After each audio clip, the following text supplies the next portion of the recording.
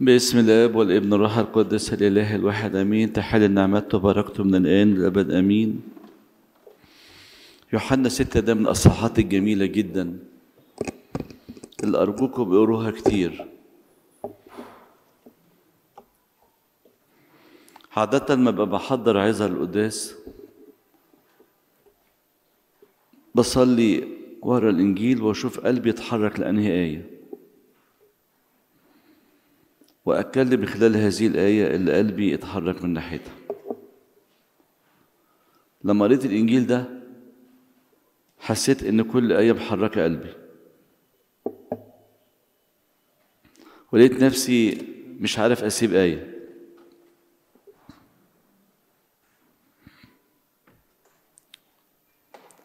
فكرتني بقصة في العهد تاريخ الكنيسة. شهيد معروف في الكنيسة القبطية باسمه شهيد الكنيستين يوحنا ابن الأبح أواخر القرن العاشر وأوائل القرن الحداشر يوحنا ابن الأبح يوحنا ده كان إنسان حلو أوي وكان الوالي الفاطمي المستنصر بالله بيحبه جدا. كان ربنا مديله نعمة كبيرة جدا في الإدارة. واحد وشى بيه عند الوالي وكان هيقطع راسه. فهو ومراته كانوا بيحبوا الست بربرة قوي. قعدوا يصلوا ويستشفعوا بالست بربرة إلى أن المكيدة دي بانت إنها مش صحيحة. فالراجل الوالي ده حب يكافئ يوحنا ده. فقال له قل لي أعمل لك إيه؟ قال له عايز ابني بيت جنب بيتي كنيسة أصلي فيها أنا وعيلتي. قال له ماشي. هديك تصريح. ولو احتجت فلوس وابني الكنيسة اللي جنب بيتك. فيوحنا ابتدى يحضر.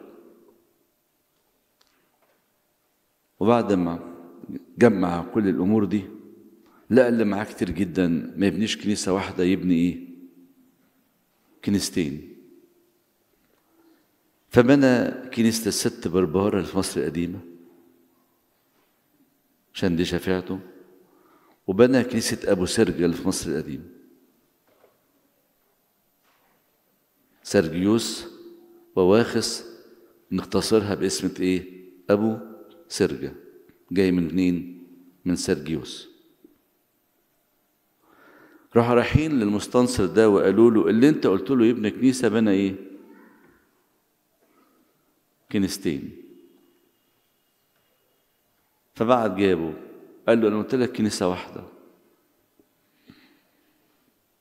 قال له أنا لقيت معايا ربنا مدينا قبل كنيستين. قال له اختار واحدة واهدم واحدة.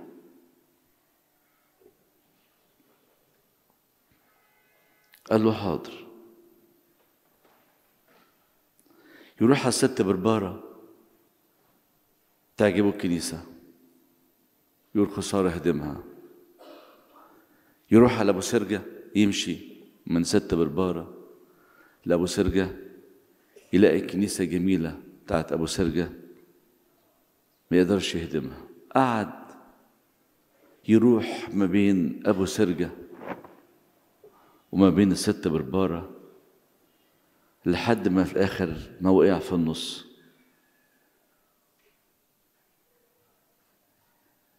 قال لهم عايز أشرب كوباية مية شربوه كوباية مية والسر الإلهي طلع.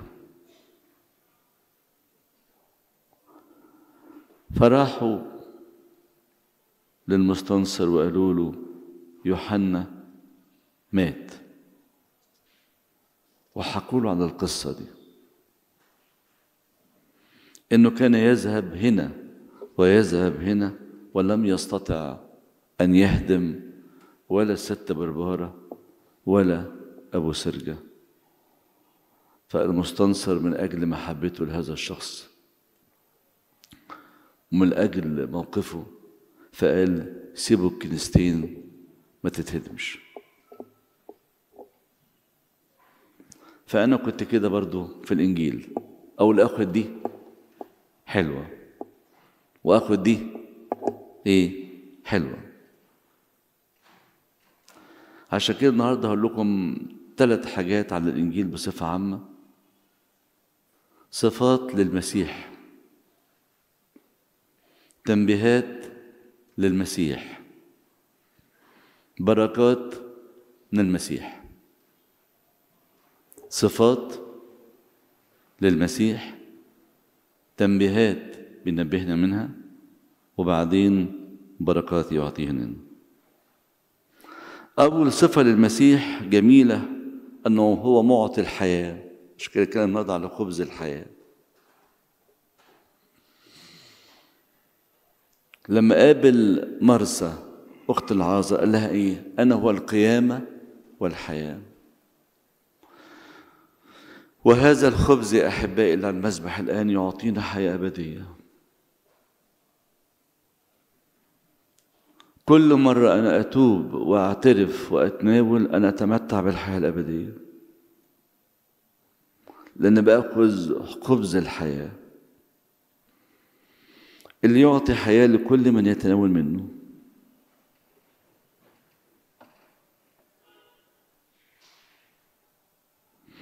مرة واحدة جت لقيت لي أنا عندي واحدة مستشفى عين شمس التخصصي. حالتها متأخرة جدا معزولة وبين الحياة والموت. نفسي أناولها قلت لها حاضر أنا بكرة عندي قداس. بعد ما أخلص القداس أروح أناولها خدت المناولة ورحت للست دي. لقيتها محطوطة في أوضة خاصة. لبسوني لبس خاص قبل ما أخش. وعقموني. ودخلت عندها لقيتها في شبه غيبوبة مسكت إيديها رشمتها بالزيت فتحت عينيها. فقلت لها تتناولي ما ردتش عليا بس قالت لي آه برموش عينيها. قالت لها التحليل وناولتها ورجعت. بعد يومين قابلت الست قالت لي على المناولة دي. قالت لي ناولتها يا ابونا قلت لها آه. ما تتصوروش الست دي كانت فرحتها قد إيه إنها اتناولت. بجد يا ابونا ولقيتها عيطت. أنا ما عملتش حاجة. بس كانت فرحانة جدا جدا جدا. عشان كده إحبائي إحنا سر التناول ده متوفر لينا باستمرار. كل يوم في قداس بدري ومتأخر. فالمسيح من أهم صفاته الذي يعطي الحياة. فكل من يلتصق به ويتحد به يتمتع بهذه الحياة. يعطي الحياة ويعطي النجاة له قوة. المسيح ده قوي قوي كل إنسان من يمسك فيه يستطيع أن يعطيه نعمة. ما تقولش حاجة مش قادر عليها. لوحدك آه بالمسيح أقدر. المسيح معطي الحياة ومعطينا هذه القوة من صفاته هذه القوة. عشان كده كل من يتمسك بالمسيح يتمتع بهذه القوة. كنت بقرأ كتاب صغير لأبونا متى المسكين. أبونا متى المسكين كان شغال صيدلي في دمنهور.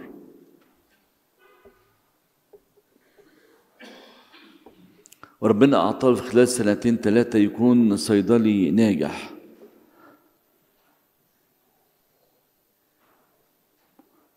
كان معاه صيادلة قدام فطاحل. بس هو من خلال علاقته الحلوة وكلامه الجميل بقت صيدليته الصيدلية الأولى في دمنهور. بس هو ما كانش عايز كده. كان عايز يروح الدير. فقريت كلمة في الكتاب بتاعه عجبتني قوي. قال له يا رب طلعني. طلعني من أنا فيه ده. أنا عايز أقعد معاك. فبيقول اليوم اللي دخلت فيه الدير وسبت الصيدلية وسبت كل حاجة. قلت له يا رب أنت جبار بأس. أنت قوي قوي. فصفات الله جميلة أنه معطي الحياة وأنه قوي.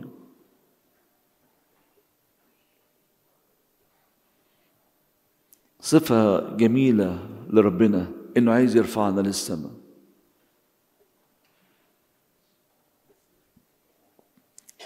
الذي يؤمن به يعطيه حياة أبدية ويرى الحياة الأبدية. عشان كده إحنا المسيحية دايما نظرتنا نظرة سماوية وليس نظرة أرضية.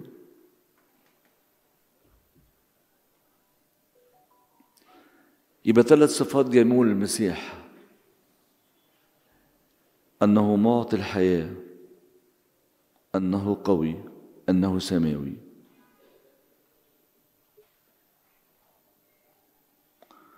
ربنا بيقول لنا ثلاث تنبيهات حلوين نخلي بالنا منهم. قال أعملوا. وقال ما تقلقوش. وقال اوعوا تتذمروا. ثلاث حاجات بينبهنا ربنا منهم. أكتر نقطة حكاية أعماله دي أنا بلاحظ كتير ناس عارفة حاجات حلوة قوي بس ما بتزعلوش مني يعني ما بتعملش. ممكن نقعد ونتكلم. ممكن نقعد ونشرح. بس نيجي في التنفيذ ما ننفذ فالنهارده ربنا بيقول لنا أرجوكم اعملوا. ولو مقدار صغير. بس اعمل.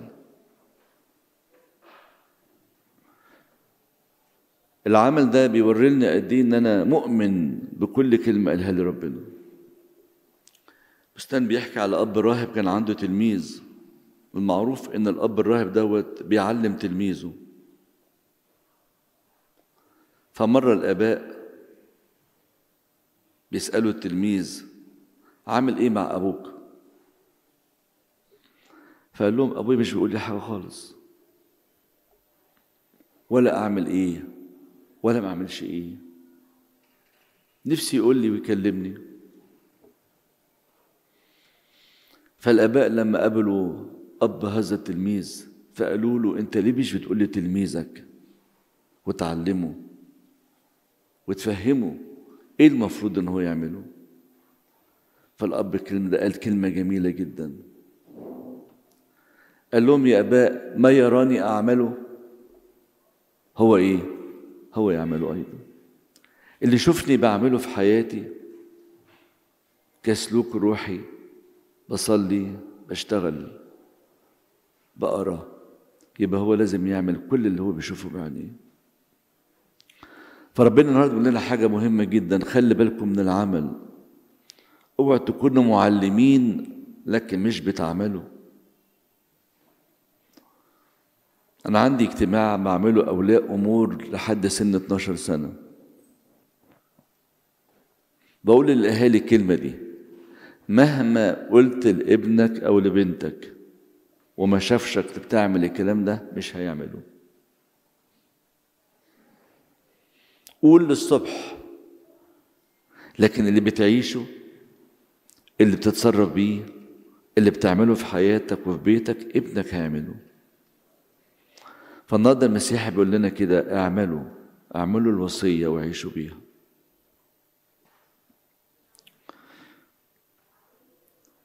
نقطة تانية قالها لهم النهاردة ما تضطربوش ما تقلقوش. ليه ما نقلقش يا رب؟ عشان أنا معاكم. أنا معاكم. إحساسي بإن ربنا معايا ده يطمني جدا.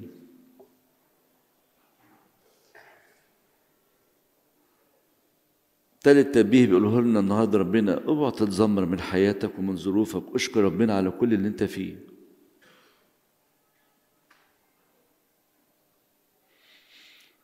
يبقى إلهنا معطي الحياة إلهنا قوي إلهنا سماوي. إلهنا بيطلب مننا إحنا نعمل ولا نقلق ولا نتذمر.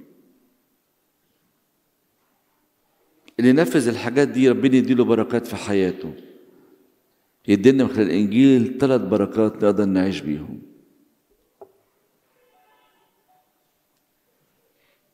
أول حاجة يعطيني فرح. تاني بركة يعطيني سلام.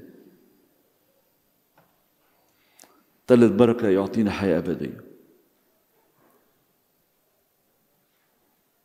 عشان كده ربنا في الإنجيل النهاردة ده كان بيكلم اليهود يقول لهم أنا هو الخبز الحي النازل من السماء.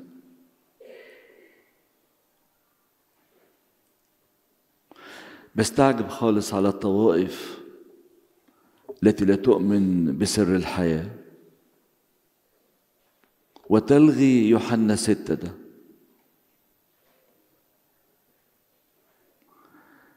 اللي التلاميذ لما قالوا هذا كلام صعب. ورجع كثير من تلاميذه إلى الوراء لما اتكلم على خبز الحياة. وبص المسيح ل 12 تلميذ وقال لهم أتريد أنتم أيضا أن تمضوا؟ تخيلوا. تقول المسيح كان عنده استعداد إن تلاميذه دول يسيبوه بس ما يسيبش الكلام ده. بيتكلم على سر التناول والحياة الأبدية تنطع بها خلال هذا السر. عشان كده الكنيسة بتعمل حاجة جميلة جدا ان أنا بناول الشخص اللي مش قادر يجي لي الكنيسه فأروح لحد عنده في البيت واناوله أوصل له المسيح. وحاجة جميلة برضه ربيتها الكنيسة. حتى الشخص اللي في مكان ما يقدرش يتناول أروح له وأناوله. فأروح دلوقتي أعمل قداس في السجن وأصلي للمسجونين وأناولهم. لسه امبارح بعت لي واحد إن في عدد محجوز في اسم مصر الجديدة مسيحيين. فقال لي يا ريت أبونا تناولهم. فده يورينا قد إيه الكنيسة حريصة. النهاردة سفر الأعمال اتكلم على أفتيخوس. بولس كان بيجتمع بالشعب يعلم وبعد ما يعلم يعمل سر إفخارستية. وأفتيخوس دوت وقع. ويمسيح أقامه. وأعطاه حياة أبدية. عشان كده افتيخوس بعد كده اتناول. واتقالت آية جميلة جدا في سفر الأعمال النهارده. ثم صعد وكسر الخبز وأكل وتكلم كثيرا إلى الفجر وهكذا خرج. وأتوا بالفتى حيا. وتعزوا تعزية ليست بقليلة. عشان كده النهاردة المسيح بيدينا نعمة كبيرة جدا في الإنجيل ده. أطلب منكم لما تروحوا البيت اقرأ الإنجيل تاني بالراحة وشوف ربنا هيحرك قلبك ليه لإلهنا كل مجد وكرم الأبد آمين.